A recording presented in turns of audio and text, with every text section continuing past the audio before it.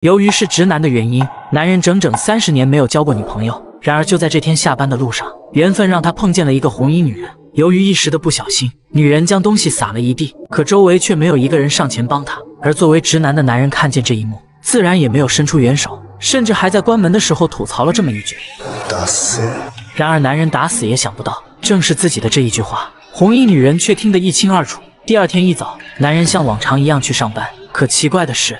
在和同事交流的过程中，男人竟然恍惚间看见了那个在地铁上的红衣女人。虽然很不可思议，但男人也只能安慰自己这只是个巧合。可万万没想到，就在下午去图书馆的时候，男人转头竟然又碰见了那个女人，这可把男人给恶心坏了，头也不回的就离开了这里。然而他打死也想不到，刚出门没走多远，他居然又在一旁的椅子上看见了那个红衣女人。而这种种诡异的巧合也让男人意识到了不对劲，于是便准备坐车离开这里，也许这样便可以远离那个女人。可万万没想到，男人刚踏上公交车，他就发现那个女人竟然也在车上。这突如其来的一幕让男人慌了神，他立刻要求司机开门，然后一溜烟的跑了下去，直到看见女人坐车离开，男人悬着的心这才放了下来。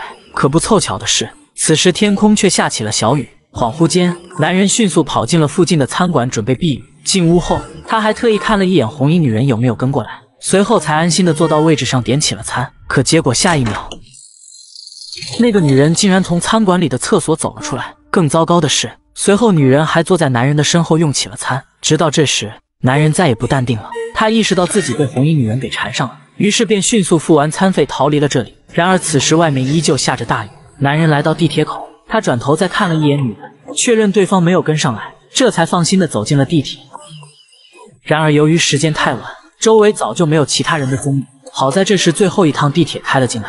然而与此同时，男人的脚边却滚过来一枚硬币。更奇怪的是，男人看了看周围，根本没有其他人的踪影。他疑惑地捡起了地上的硬币。就在这时，他突然想起了什么：这枚硬币不就是那个红衣女人掉在地上的吗？男人越想越害怕。而就在这时，他的身后又传来了硬币掉落的声音，然后